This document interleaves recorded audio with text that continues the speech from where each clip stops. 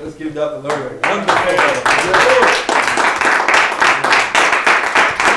Come on, give Jesus a hand. Amen. Come on, come on, let's give Jesus a hand. You're number one. Amen. Amen. Uh, I'm s- I'm just taking notes and and just uh, I'm in the zone, man. I'm so happy uh, just to be here, just to meet the brothers. And uh, for those who don't know me, I'm Bishop Charles S. Waters, and uh, the pastor uh, founder of New Generation Ministries in Baltimore, Maryland. And uh, I was so glad that a couple of my guys had come, Deacon John Banks, which is also our media director for the church, and uh, Minister Jamal Crosby, uh, which is one of the youth uh, pastors of our church. And uh, we're just here to celebrate God and just to get into the mix. Amen. And uh, I, I like to say this openly, and I'm pretty sure everybody hearts feel the same way, not to take up much time, but I really thank God for Dr. Larry Williamson. Man, I really need y'all to give God some real authentic praise. Come on, we can do better than that for God, the visionary of this earth. But come on, can we please honor him? The Bible says we all will always do. Can we do that? Come on, we can do it. Let God. Dr. Larry Williamson. Amen. Uh, Give it to I, I, I, tell you, this man of God is awesome. Uh, one of the things that I, I just want to tag on to what he was saying, I just want to give you a quick little background of, of what the Lord has done in my in, in my life and and my uh, marriage and in my church and business. Just like uh, Dr. Larry just uh, spoke about for us uh, prosperity. How many of y'all, like you said before, how many believe that God wants us to be prosperous? Amen. And amen. In every area of life. From health to wealth. Amen. And um, I'm a total b- believer of it. I grew up in a church, a Pentecostal church, uh, right in Baltimore. And uh, I grew up there, and I've seen the power of God fall continuously. I was sharing with my brother uh, uh, that we were just talking about how uh, the presence of the Lord dropped on me uh, about my burning bush experience uh, when I was a teenager and how I uh, experienced the power of the Holy Ghost. Started off in the sanctuary, and uh, when I came to, I was behind the church in the sandbox. Don't ask. I don't know how, what happened. I just know the power of God. And so I, It beats like that sometimes. it be like that. You better believe It it. like that And, and I'm like, man, I ain't mad. I just woke up with a bunch of sand in my shoes. Whatever happens is that. You know, and so I grew up with the Pentecostal fire. I grew up with the Pentecostal anointing. The problem was my, nobody ever told me or taught me about the key to kingdom prosperity. And so I started off uh, in my church, started, you know, started pastoring. My wife, I told her about, know, I feel as though the Lord has led me. I've been I've been uh, preaching since I did my first trial sermon. I was eight years old. My first trial sermon was in front of 5,000 people at eight years old. They had a little stool, you know, and then I had to jump on this little stool with my little guts and preaching my little arms swinging. I couldn't, you couldn't even see me over the, you know, over the stage, you know. And, and so I, I'm like, I, I knew Bible, I knew God, I knew about the fire, but I did not know anything about kingdom success. And um, it wasn't until uh, when we started our ministry, we started off in our living room, kind of like this. This is why, you know, people just, uh, you know, I, I always tell pastors, I said, don't, the Bible even said, don't despise, you know, despise not small beginnings. Because this is where we all come from, you know. And so, you know, my wife and I, we started off doing that, you know, we had a storefront. If you, I don't know if anybody here from Baltimore, anybody here from Baltimore City or, or familiar with Baltimore a little bit? Oh, oh you're kind of familiar with Baltimore? Okay, so there's a street called Pennsylvania Avenue. Okay, Pennsylvania Avenue is the hood. Okay, this, this is where you're gonna ask the drug dealers, excuse me, let me get into my own church. You Yes. know, and this, or this is where they would come, and, you know when they was running for the police officers, they would come and drink, bring their drug money, not knowing, kind of like what Dr. Williamson was saying, not knowing the money that we need for our little five hundred and eighty-five dollar rent was coming right from them. So so they won't go to jail with the drug money. You know, God works in mysterious ways. He will cause he, the wealth of the wicked is laid up for the righteous. Amen. Amen. I, and so you know they came and um, I, I started noticing that we were shouting, we was praising, we was I mean we were travailing, but we wasn't seeing no success in ministry. We wasn't seeing no fruit of the of our labor, far as not just in the supernatural realm, but having kingdom ownership, uh, uh, uh, understanding the principles of first fruits, as Dr. Williams just said. Nobody never taught me that. The only thing I knew was you praise God, you shout, you scream, and it'll all get better by and by. There you go. That- Anybody familiar with that right there? Yes. So I started hanging with people like Dr. Williamson, people who understand the kingdom of prosperity. And, I- and I began to start listening to, wait a minute, my ministry is good spiritually, be up here, but naturally we in the dumps. Mm. And in order to reach the caliber of seven star people and seven star ministry, we have to align our way up. So then I begin to shock the church. It's almost like having uh, a cold water drenched on something scorching hot. I shock the church, meaning I, I put to the church attention. I said, it's time for your natural lives to start uh, matching up to the supernatural. Mm-hmm. So if you can preach, prophesy, lay hands, cast out demons, that's awesome. But how are you living outside of the church? Come on, Amen. Amen. How are you in corporate America? Amen. Do you even have a job? Mm-hmm. You- you- you- you- how are you support as men? How are you supporting your family? Mm-hmm. Hello. You- you- how, how many know I'm talking right? Right there. Yes, Amen. sir. And so I, I shocked the church, and the Lord brought some things to me. Now I want you to go to Genesis really quickly. I know we're working with time. I'm gonna read two scriptures, and then uh, I turn it back into the hands of Dr. Larry or the pastor. Uh, but go to Genesis chapter. This is one of my favorite scriptures. Genesis chapter uh, one. Uh, chapter one. If anybody can read verse 26. Chap- Genesis 1, uh, 26. Very familiar scripture. Very familiar text. Then God said, Let us make man in our own image, Yeah, according to our likeness. sure, Let them have dominion over the fishes of the sea, sure, over the birds of the air, sure. over the cattle, hmm over all the earth, and over every creeping thing that creep on the earth. Sure. Keep going. Tw- 27. So God created man in his own image. In his own image. Go ahead. In the image of God, he created him. Yes. Male and female, he created them. Uh huh. Here it is. Go ahead. Verse 28. Then God blessed them. Uh huh. God said to them, Be fruitful Be fruitful, and multiply. multiply, and then Fill the earth and subdue it. and subdue it. Have dominion over the fishes of the sea, Go ahead. over the birds of the air, Sure. and over every living thing that moves upon the earth. Yes. And God said, I see, I have given you every house Yeah. that you'll see, Yeah. which is on the face of all the earth, Yeah. And every tree whose fruit you'll see. Yeah. To you it shall be for good. Somebody say amen. Amen. Now, now, I, now, I want you to look at that real quickly. And one of the things that God put on my heart uh, t- tonight to share is, a, as Pastor said, about the first fruits in your giving. Okay? How many know it's better to give than it is to receive? Amen. And as men, it's very vital for us to give. Now, I'll be honest with you. For the pastors in the room, if I could be just very transparent, and I want to move, and, and because this is an intimate gathering, I'll be honest with you. Many of us, as pastors, are not where we should be, according, watch this, naturally, according to where our spirits are. How are we casting out demons but have no ministry success? And so we always, I used to go to different churches, and I still do. I have great pastors who have thousands of members. One of my good friends is uh, Dr. Stephen Lowry, uh, which is in uh, D.C., National Church of God.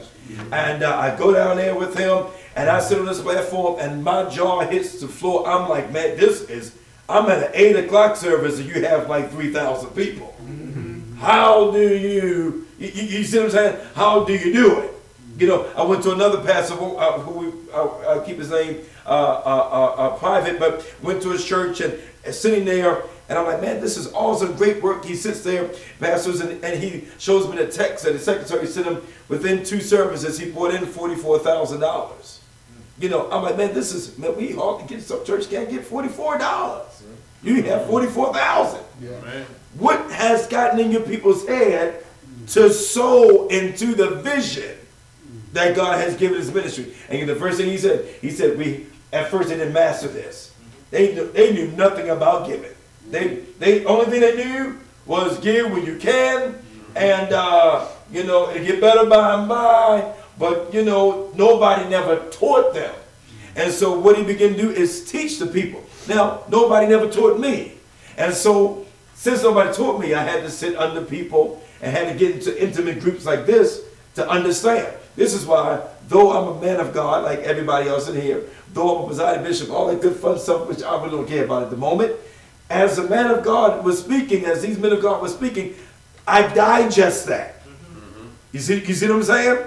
One thing I love about what Dr. Larry said, don't let don't let your arrogance and your title be your hindrance. Yes, yes. Because sometimes we can get caught up on who we are outside of this. And because we're pastors, overseers, or whoever we are, whether we have two members or a thousand members, but we get so arrogant that we're unteachable. The moment where you begin to be unteachable, you will never reach a level of success. It's only those who are wise enough to sit here and say, hey, I denounce my throne. Matter of fact, I don't have a throne. I'm a permanent student. That's one of my favorite sayings. I'm a permanent student. We start out in the storefront church.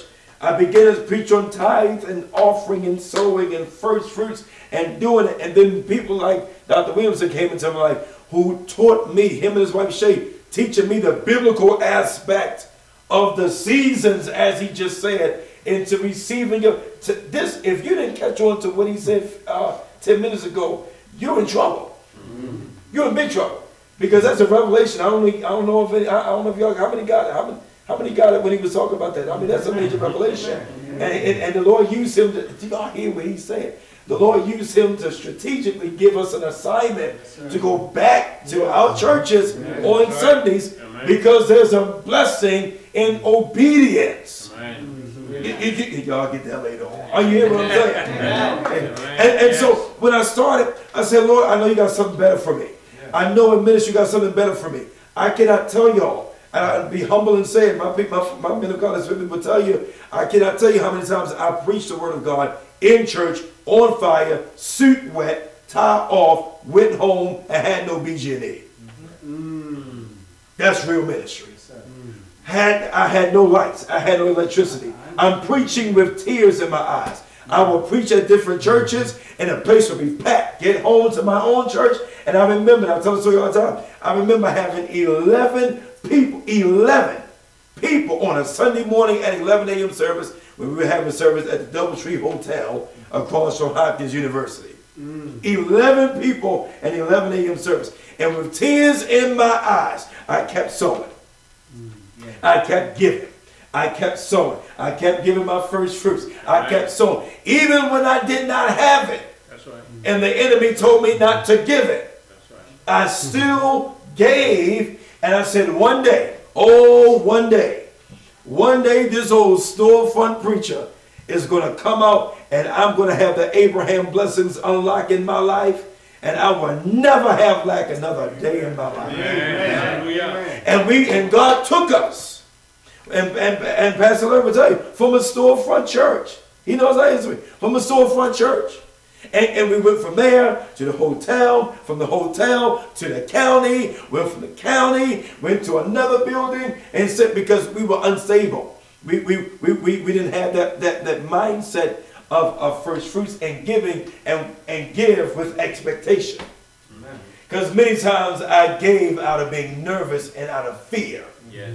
Because it, it's almost like, I hate to use the word, it's almost like sometimes we were pumped into giving. Right. Yes. You see, as, as, as, as. Larry talked about, you know, the hundred, you know, if you give me a thousand dollars, then I promise you five days. I had plenty of men of God point me out, and uh, the, I don't know, y'all probably went through the same thing. You know, he said, y'all been, how many been through that before? Oh, I like You term you use, pumped into giving. yeah, yeah, right, I right, like right. that. Yeah, you know, they, they, they say, you know, they point you out because you have oil and they can see your oil. Yeah. They, they point you out of the crowd and say, the Lord told me to tell you to bang on the wall five times and in five days after you get 5,000, your, your life will turn around. Yes. Don't make no logical sense. It don't even make biblical sense. That's right. You see what I'm saying? And God began to, to show me, teach your people. And so we sold our way out of famine. And I said, Lord, it took my wife one time, and I'm working with, and I'm one too, I'll be honest, I'm not trying to put a plug in here, but I will because I think it needs to be said. I believe everybody in here, every pastor in here, to see Dr. Williamson in regards to getting your finances together with your ministry. All right. Because we're going to get mad at the next person who do do it and receive the breakthrough, the promises begin to unlock, and then we forgot. if you would only tap in on the mountain That's right. Mm. Amen. That's right. when you had the prime opportunity to do so. And I begin to say, God, I believe you in faith that you will unlock the doors. Now we worship and we wait for that storefront. And Dr. Williams will tell you, I'm working out right now. He's going to be working with our church, and we're worshiping right now in a 47,000 square foot building. Amen. Hallelujah. Are you hear what I'm saying?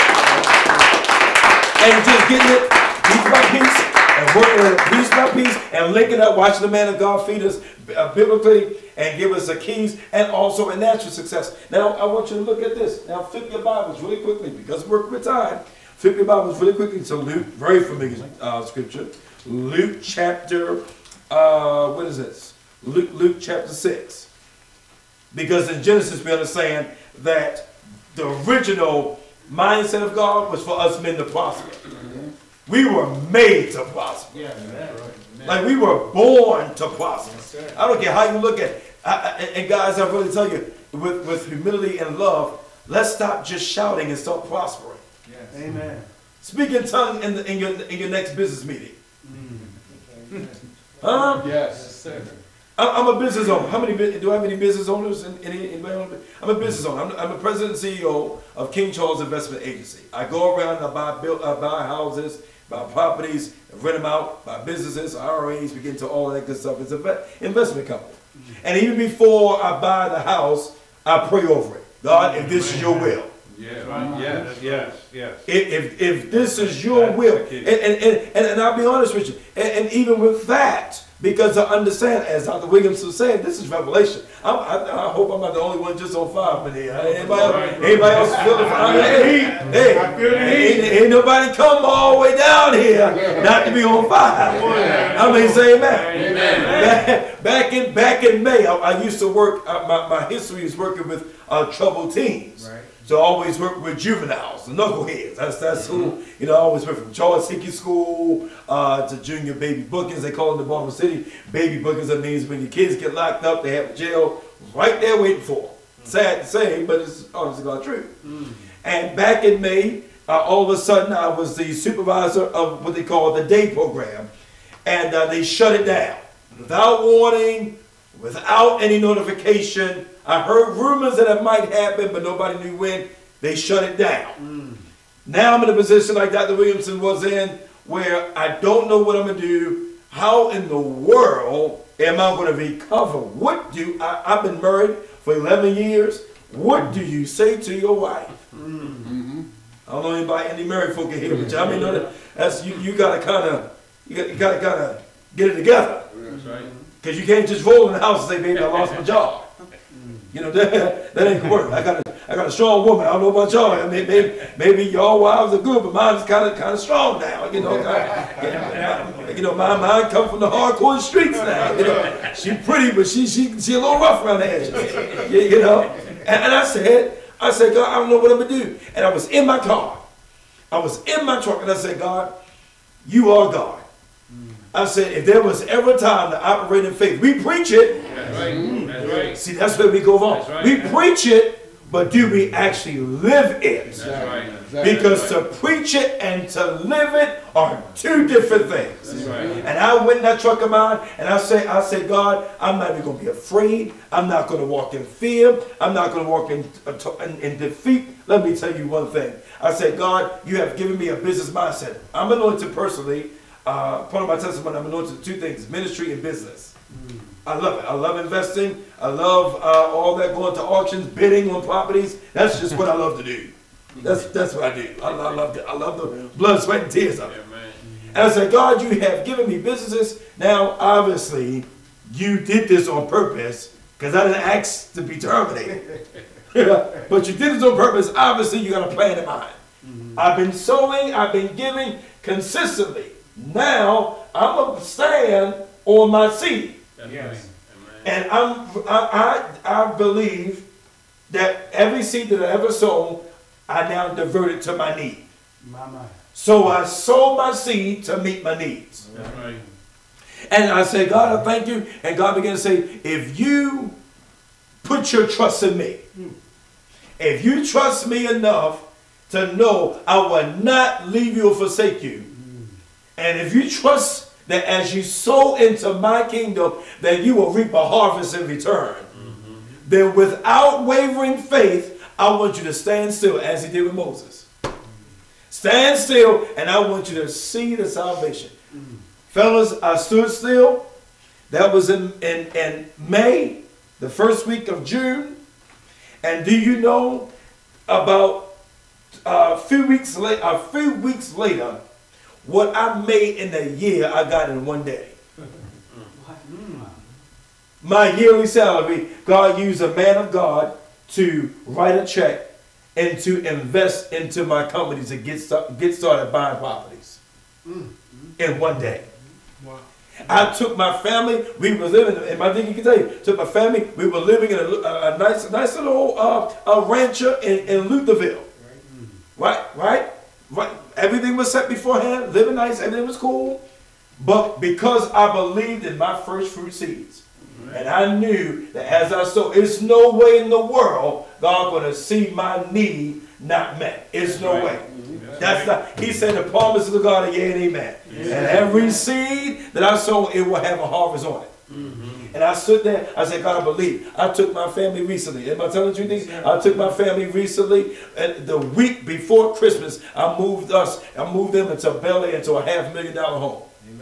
My, my. Because I believe in the principles. This ain't bragging. Listen to me. Amen. I'm talking about faith even when you are blinded. Yeah. That's Yeah. right. Even when you don't know. Now watch this. Y'all, y'all got the scripture, Luke chapter 8, right? Y'all, y'all got Luke chapter 6? Six. 38. Give and it shall be what? Give it. Give it unto you. How? Good measure. Y'all see that? Pressed down, shaken together. But look at that. Good measure. Good measure. I was uh, the devil almost had me because he was almost trying to tell me it's no way you're gonna recover. Oh, it's a wrap. It's it's it's a wrap. Your ministry, it's a wrap.